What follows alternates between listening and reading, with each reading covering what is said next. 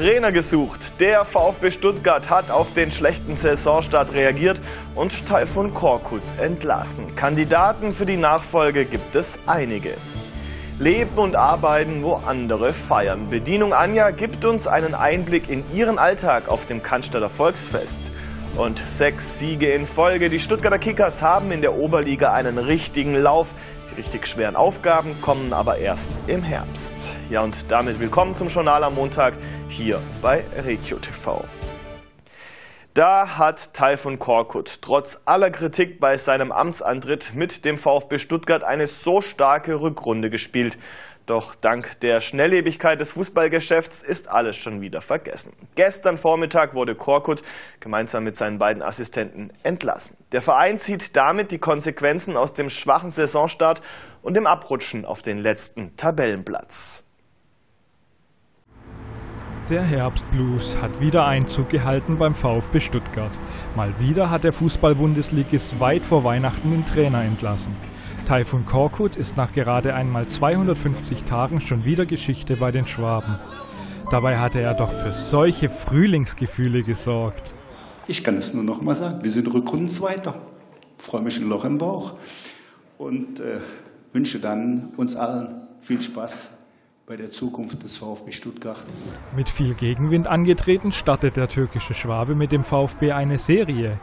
In der Rückrunde verliert das Team unter ihm nur eins von insgesamt 14 Spielern. Aber alles Schnee, äh, Sonnenstrahlen von gestern. Die ausbleibende sportliche Entwicklung im Laufe dieser Saison und die negativen Ergebnisse haben uns dazu bewogen, diesen Schritt zu vollziehen. Dieser Schritt, die Entlassung von Korkut, hatte sich abgezeichnet. Herbstblues eben. Trotz guter Verstärkungen und ordentlicher Vorbereitung geht der Saisonstart gründlich daneben. In der Nacht nach dem 1:3 in Hannover am Samstag fällt die Entscheidung, sich von Korkut zu trennen. Nun stellt sich die Frage, wer wird Nachfolger? Ex-Nationalspieler Andreas Hinkel ist nur eine Übergangslösung. Bei den Fans kristallisiert sich vor allem ein Name heraus. Weinzel wäre gut, aber auch Hasenhüttel könnte ich auch damit leben. Hasenhüttel. der die sage, auf jeden Fall der Hasenhüttel. Der Hasenhüttel. Allerdings bleibt der Österreicher wohl eher eine Wunschvorstellung. Doch das Trainerkarussell bietet noch mehr Möglichkeiten. Etwa den heiß gehandelten Markus Weinzierl oder auch den Geislinger Markus Gistol. Die Frage ist, wer traut sich, über dem Vasen abzuspringen, um mitten im Herbst wieder frische Frühlingsgefühle nach Cannstatt zu bringen. Für viele wäre es ein Albtraum. Arbeiten in einem 4000 Menschen fassenden Festzelt auf dem Cannstatter Volksfest. Kiloweise Maßkrüge schleppen, ein hoher Lärmpegel und schon nach wenigen Stunden ein betrunkenes Partyvolk. Doch es gibt auch die, die es lieben. So wie Anja aus Ansbach bei Nürnberg. Seit zehn Jahren reist sie jährlich nach Stuttgart, um dort zu arbeiten, wo andere feiern. Und eins.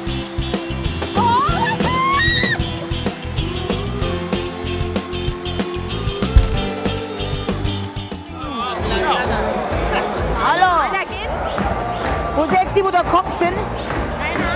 Heute ist extrem, ja. Ein ganz normaler Samstagnachmittag im Festzelt auf dem Cannstatter Volksfest. Sechs Stunden zuvor auf dem Campingplatz am Cannstatter Vasen. Wir besuchen Kellnerin Anja in ihrem, wie sie selbst sagt, kleinen, acht Quadratmeter großen Zuhause. Guten Morgen. Hallo. Hi. Es ist 8.30 Uhr. Die 45-Jährige ist gerade aufgestanden. Da oben ist meine Schlafgelegenheit. Da kann ich schlafen. Dann habe ich hier mein Bad, wo ich mich austoben kann. Eine Stunde. Und da habe ich meinen Kleiderschrank, sogar mit Beleuchtung, weil ich mal nichts sehe. Seit zehn Jahren schon bedient die Bayerin zweimal im Jahr hier auf dem Cannstatter Vasen. Wie sie mir erzählt, ist sie von April bis November auf Festen in ganz Deutschland unterwegs. Das ist halt das Freie. Man hat zwar viel Stress, viele Stunden. Man ist halt wie ein eigener Chef, kann man sagen. Man kann sich die Feste selber raussuchen. Es ist einfach schön, auch das Gemeinsame. Man hat ja viele Kollegen und das tut einem schon gut, wenn man die hat. Zu Hause habe ich das alles nicht. Durch das, dass ich so lange weg war, bin ich eigentlich allein und so fühle ich mich nicht alleine. Für Anja wie eine kleine Familie. Dass sich die Kellner untereinander verstehen, lässt sich bei diesen Bildern auch nicht leugnen. Abends nur Feierabendbier oder einfach nur ein bisschen quatschen, wie der Tag war und dann gehen wir rein. Viel Schlaf hat Anja nicht. In der Regel kommt sie gegen 0.30 Uhr nach Hause. Um 9.30 Uhr ist im Fürstenberg-Zelt Arbeitsbeginn. Und das 17 Tage am Stück. Das ist wie eine Sucht. Man kann es nicht lassen. Und vor allem sagt sie selbst, für diesen Job muss man einfach der Typ dafür sein. Zuerst müssen nochmal die Tische geputzt werden. Dann geht's in die Kantine. Die ist übrigens extra für die 120 Kellner im Zelt eingerichtet worden. Hier gibt's Frühstück. Doch zu früh gefreut. Der Kaffee muss warten. Eine spontane Kellnerbesprechung steht an. 10.30 Uhr. Jetzt sind sie da, die ersten Gäste. Also die vier sind kompliziert. Die anderen gehen ja noch, aber die da. Wen Anja da genau meint und welche verrückten Geschichten sie als Servicekraft im Festzelt schon so erlebt hat, das sehen Sie morgen im zweiten Teil. Ja, wir sind gespannt, welche Geschichten Kellnerin Anja da auspackt. 40 Einsatzkräfte haben in der Nacht von Samstag auf Sonntag einen Großbrand in Groß-Erlach-Platte im Rems-Murr-Kreis bekämpfen müssen. Das Feuer ist gegen 1 Uhr in der Nacht in diesem Holzlager zwischen zwei Wohnhäusern ausgebrochen. Trotz des raschen Eingreifens der Feuerwehr wurde auch eines der beiden Wohnhäuser in Mitleidenschaft gezogen. Da das Gebäude von einer Person bewohnt wird, ist das weitere Vorgehen der Einsatzkräfte zunächst unklar. Dann äh, gehen wir zusammen mit der Gripper oder Gripper alleine, das äh, wird sich noch rauskristallisieren, äh, vor auf der Suche nach einer Person. Wenn man keine findet, löschen wir voll ab. Wenn man eine Person findet, zieht sich noch ein bisschen entlänge. Ja. Einen Tag später gibt die Polizei aber Entwarnung. Verletzt wird bei dem Brand niemand. Beim Sachschaden gehen die Ermittler von einer Summe im sechsstelligen Bereich aus. In der Hans-Martin-Schleier-Halle dreht sich momentan alles um das Thema der künstlichen Intelligenz. Bis Mittwoch findet dort das New New Festival statt. Bei dem internationalen Technologie-Event stellen 50 junge Unternehmen ihre innovativen Geschäftsmodelle vor. Dabei werden Kontakte zu bereits etablierten Technologiefirmen geknüpft. Interaktive Workshops und fachliche Diskussionen runden das dreitägige Festival ab.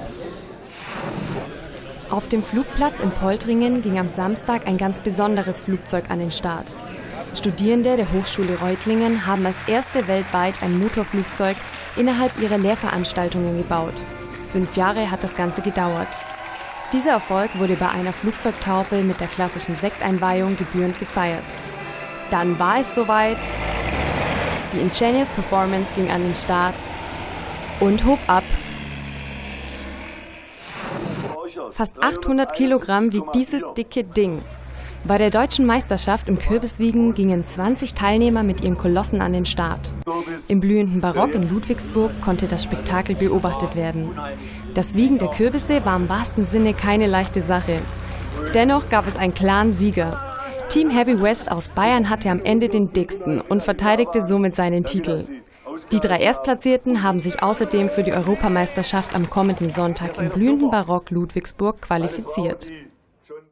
Und gleich geht es mit der Siegesserie der Stuttgarter Kickers weiter, die nach dem 61 Erfolg gegen Links auf sechs Siege in Folge ausgebaut wurde. Mehr zum aktuellen Höhenflug der Blauen gleich hier im Journal.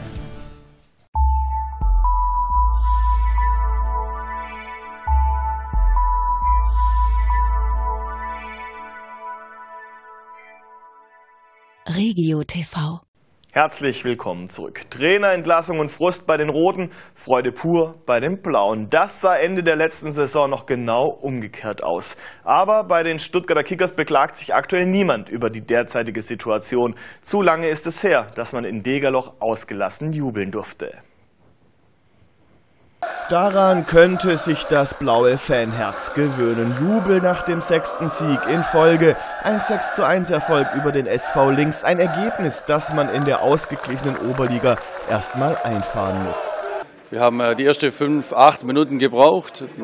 Dann sind wir immer aggressiver geworden, haben immer zielstrebiger nach vorne gespielt und von daher sicherlich äh, auch sogar an der Höhe verdient. Es ist auch so, egal wer irgendwie reinkommt, egal wer spielt, auch, wenn, auch die, die jetzt dann mal reinkommen in, äh, in der zweiten Halbzeit, wenn man Nico Blank sieht oder so, die, die, die, die knüpfen nahtlos an der Leistung an. Also ähm, ja, wir haben uns gefunden und äh, kann so weitergehen. Doch auch den Kantersieg über links können die Blauen gut einordnen. Es geht darum, einen Schritt nach den anderen zu gehen, um den direkten Wiederaufstieg am Ende auch wirklich zu schaffen. Aber eines ist auch klar, die Brust der Blauen wird von Sieg zu Sieg breiter. damit wir momentan verlieren, muss schon ein guter Gegner kommen, äh, der sich dann auch äh, redlich verdient. Ähm, wir haben das nötige Selbstvertrauen, auch zu sagen, dass äh, die anderen uns erstmal schlagen müssen. Und nichtsdestotrotz liegt es natürlich an uns. Wir müssen so weitermachen, Gas geben und ja, dann bin ich guter Dinge, dass es auch so weitergehen kann. Spannend und richtungsweisend werden die nächsten Wochen, wenn es zu Hause gegen die Topclubs Freiberg, Villingen, Bissingen und Reutlingen geht.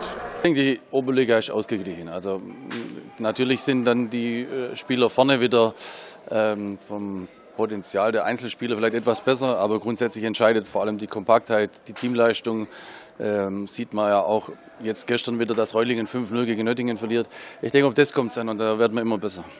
In den anstehenden Topspielen werden die Blauen auch wieder die Unterstützung der Fans brauchen. Über zweieinhalbtausend kamen bisher im Schnitt ein echtes Pfund in der fünften Liga. Das ist sensationell, das können wir auch nur immer wieder betonen. Ich denke, das ist fast einmalig. Wenn man so die Schnitt mit 300, 400 Zuschauern sieht und bei uns mit zweieinhalbtausend, ist das schon Wahnsinn. Und ähm, da müssen wir einfach immer alles versuchen, alles zu geben. Ein spannender Herbst ist also angesagt, das verrät auch der Blick auf die Tabelle. Schließlich trennen die Topclubs Bissingen, Stuttgart, Reutlingen und Villingen gerade einmal zwei Punkte. Schauen wir mal, ob es die Blauen so machen wie das tapfere Schneiderlein. Bei dem waren es ja sieben auf einen Streich. Auflösung am kommenden Samstag in Backnang. Ja, und hier folgen jetzt noch die Aussichten fürs Wetter. Und da sieht es die Woche über richtig gut aus. Was das im Detail heißt, das sagt Ihnen gleich Kai Zorn. Bis hierhin schon einmal danke fürs Zuschauen. Ihnen noch einen schönen Abend und bis morgen. Machen Sie es gut. Tschüss. Auf Wiedersehen.